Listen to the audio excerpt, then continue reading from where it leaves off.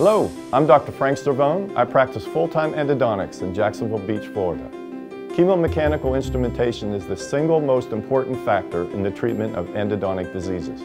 But instrumentation produces a smear layer, which brings its own problems. There are organic and inorganic components, bacteria, and bacterial byproducts that we must deal with. Here's a view of the canal spaces that you may never have seen before. It's animation, but this is reality. This is the challenge of endodontic therapy.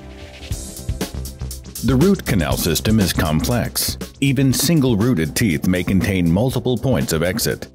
Isthmuses, tissue webs, fins, laterals, canal anastomosis, and the splitting of the root canal at any point along its presumed straight path to the apical foramen. The role of instrumentation is to remove the vital and non-vital tissue contributing to the infection and to facilitate irrigation of these complex anatomies. Successful obturation first requires removing the barriers to a dense 3D fill, including the smear layer. A smear layer of pulp and necrotic tissue, dentinal fragments, and bacteria is formed when instruments contact the dentinal walls.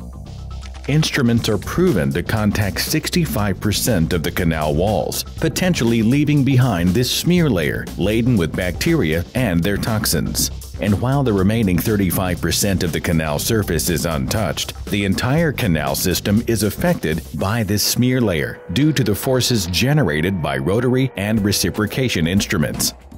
All instruments can push smear layer and contaminated debris into dentinal tubules, lateral canals, fins, and other areas, creating smear plugs, which effectively block the path to the rest of the anatomy.